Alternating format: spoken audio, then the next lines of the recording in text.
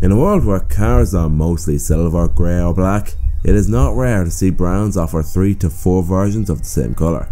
Thankfully, some brands have let their hair down and made some special colours for special customers to mark a car's personality or to be different. So here are the 10 best factory colours ever created.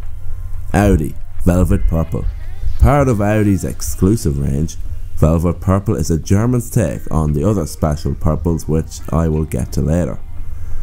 Available on almost any Audi, this colour is at its best on an A5 or the beastly RS6 Avant. It really makes your Audi stand out from the pack. Mitsubishi Palma Red To some this is just a basic red, but to others it's a thing of beauty. Used on the Mitsubishi Evo 7, 8 and 9, it was a colour which matched the car's ability and personality very well. It is a rare colour too, so if you find one in this colour, you know that it's something special. BMW Laguna Seca Blue. BMWs are normally silver or black, it's just how it is. People who drive BMWs want to blend in, but let's face it, their driving style does otherwise. The same is with the M cars. BMW advertise their cars in vibrant colours, but no one buys them, and so they're just forgotten. Thankfully, the uniqueness and beauty of Laguna Seca Blue changed that. In a bright light, it's turquoise, but in the dark, it's a subtle blue. This made your E46 M3 stand out, and a truly special machine to own. Dodge Plum Crazy Purple In the 60s the world was filled with muscle cars. Back then no one judged each other, and problems were solved without any genders who didn't know about or a clueless millennial finding an issue with it. Oh, the good old days. Back then Dodge had a wild number of colours available. The best was Plum Crazy Purple, available on a Challenger. It was loud, cool and unique. It gained such a cult following that Dodge brought it back in 2016.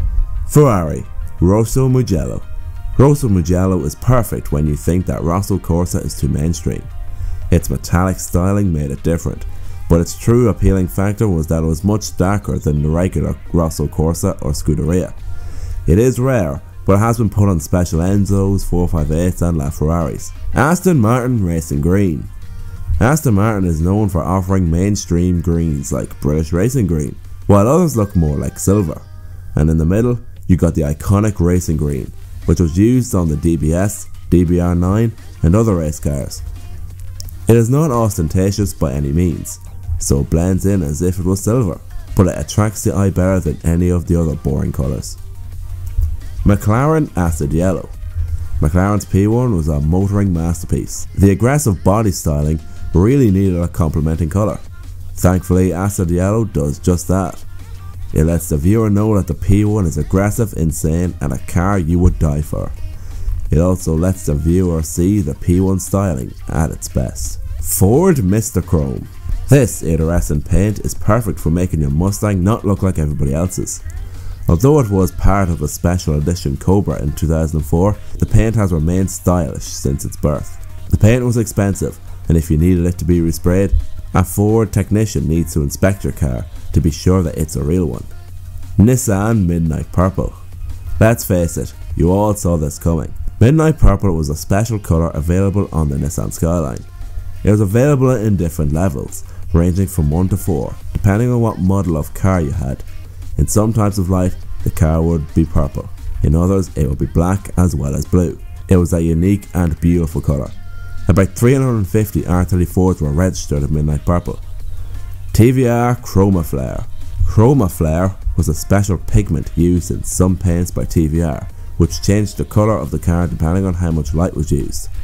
It was the perfect match for the car's personality. Its insanity had made it a fan favourite. It was Chroma Flare that created the chameleon colours often found in the Tuscan and Sagaris.